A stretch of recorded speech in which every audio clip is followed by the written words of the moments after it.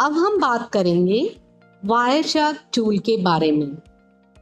Network administration के लिए यह एक ऐसा इंटरेस्टिंग टूल है कि कोई भी फ़ील्ड हो, चाहे वो नेटवर्क सिक्योरिटी एप्लीकेशन या फिर सर्वर कभी न कभी इसकी ज़रूरत ज़रूर पड़ती है। क्योंकि नेटवर्क में या सर्वर में इशू आने पर ये टूल हमें आइडेंटिफाई करने में हेल्प करता है कि प्रॉब्लम किस पॉइंट पर है तथा क्यों है। तो फिर चलिए देखते हैं कि वायरशार्क में हम क्या सीखेंगे। सबसे पहला टॉपिक है बेसिक्स ऑफ़ वायरशार्क दूसरा इंस्टॉलेशन ऑफ़ वायरशार्क तीसरा पैकेट कैप्चरिंग यूजिंग वायरशार्क और फिर आखिर में हम उन पैकेट्स को एनालाइज करेंगे।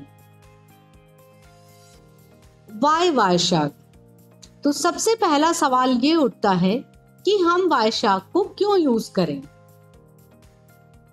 तो इसका आंसर है कि ये मल्टीपल प्लेटफॉर्म्स को सपोर्ट करता है, जैसे कि विंडोज़ लाइनेक्स एक्सॉलरीज, एट्सेट्रा। ये यूज़र फ्रेंडली इंटरफेस है।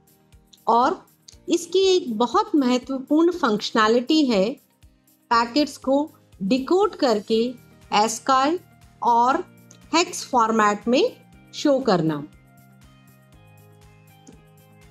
अब हम वायशा के कुछ पर्पस देखेंगे। जैसे कि नेटवर्क एडमिनिस्ट्रेटर्स इसे यूज़ करते हैं नेटवर्क प्रॉब्लम्स को ट्रबल शूट करने के लिए। नेटवर्क, सिक्योरिटी इंजीनियर्स वायशाक को यूज़ करते हैं सिक्योरिटी प्रॉब्लम्स को एग्जामिन करने के लिए। और डेवलपर्स वायशार्क को यूज़ करते हैं डीबग प्रोटोकॉल्स इंप्लीमेंट करने के लिए।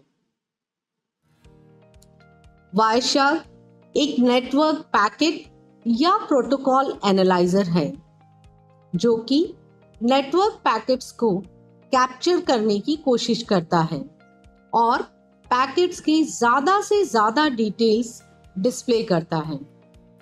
आज के समय में Wireshark is one of the best open source software है फॉर पैकेट एनालिसिस